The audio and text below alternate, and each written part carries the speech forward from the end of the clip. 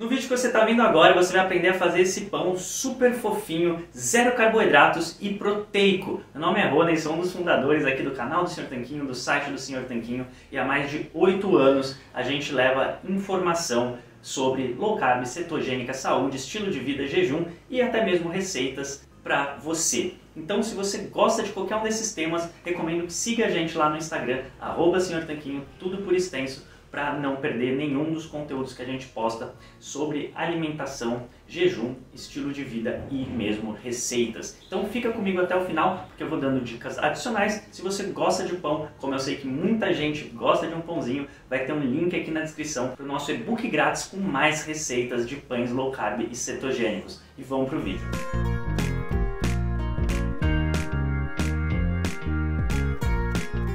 Então, para fazer o nosso pão super levinho e fofinho, a gente vai precisar do seguinte. Aqui nós temos seis claras, tá bom? E aí você pode usar as gemas para fazer nosso quindim low carb ou então nosso biscoito amanteigado low carb, links na descrição. A gente vai precisar, é, além dessas seis claras, um pouquinho de sal, que a gente já pode adicionar aqui. E vamos precisar também de uma colherzinha de chá de suco de limão ou vinagre branco, tá? E vamos bater.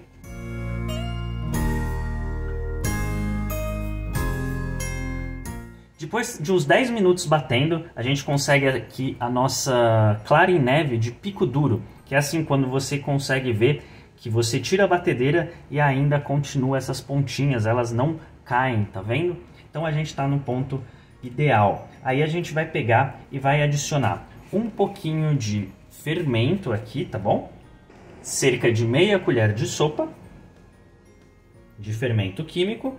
Podemos bater mais um pouquinho.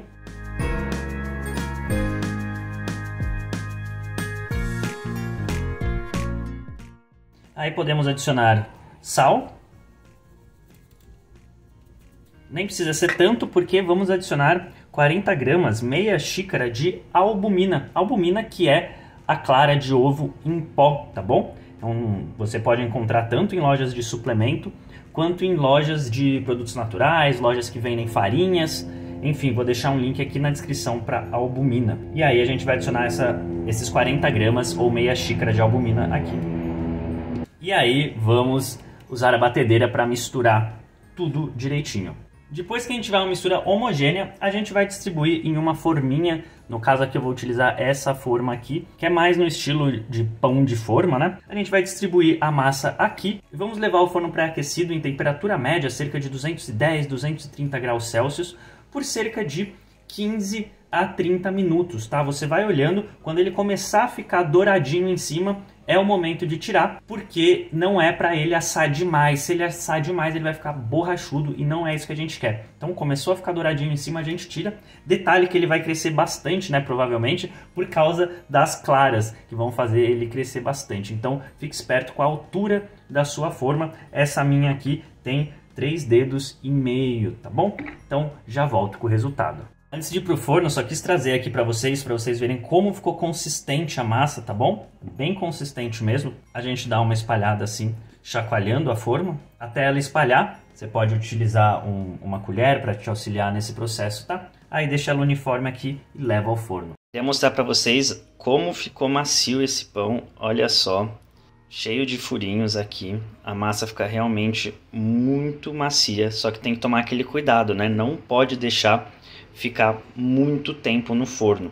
E agora, para comer, eu vou passar manteiga de um dos lados de cada fatia e vou fritar na frigideira. Já mostro para vocês o resultado. Como eu falei, aqui na descrição vai ter um link para você baixar nosso e-book grátis com mais receitas de pães low carb. E se você gosta de receitas, então recomendo que conheça o nosso livro físico 150 receitas low carb cetogênicas de sucesso. Todas elas com foto, modo de preparo, quantidade de carboidratos e o livro está com frete grátis. São receitas para todas as horas, incluindo café da manhã, almoço e jantar. Tem pães, tem doces, tem até drinks e molhos e acompanhamentos. E falando em quantidade de carboidratos, o link para o livro com frete grátis ou na versão digital vai estar tá aqui na descrição e a quantidade de carboidratos dessa receita não vai estar na descrição porque a quantidade é zero. Não tem carboidratos nessa receita aqui, né? A gente usa basicamente clara de ovo e sal para fazer essa receita, clara de ovo in natura, clara de ovo em pó. Usamos o sal para dar um saborzinho e utilizamos também um pouquinho de suco de limão ou de vinagre para ajudar na consistência. Inclusive, se você tiver o cremor tártaro, ele substitui o suco de limão e fica a sua receita ainda melhor. E também cuidado para não utilizar muito sal, porque a albumina já é levemente salgada. Se você usar muito sal, sua receita vai ficar muito salgada. Na hora de consumir, recomendo muito que você corte em fatias, assim como eu cortei, e rende mais ou menos umas 12, 14 fatias desse tamanho aqui, com um dedo de espessura. Recomendo que você passe na frigideira ou na torradeira, ou no tostex, ou na sanduicheira. Passe com um pouquinho de manteiga, recheie como você preferir, com presunto, queijo, enfim, como você costuma fazer. Ou mesmo esquente ele na torradeira e depois passe uma geleia low carb, como a que eu já ensinei a fazer aqui no canal. Vai ter link na descrição. Bom, e vamos provar.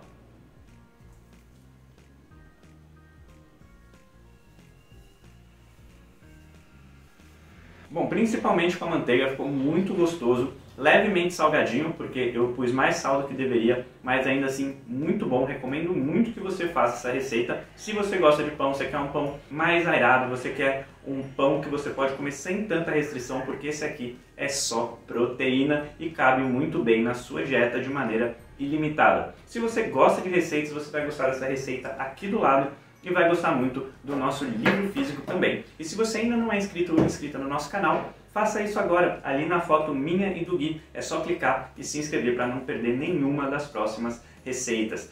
Leia aqui a descrição que tem um monte de link útil para você. Se inscreve no canal e a gente se fala no próximo vídeo. Um forte abraço!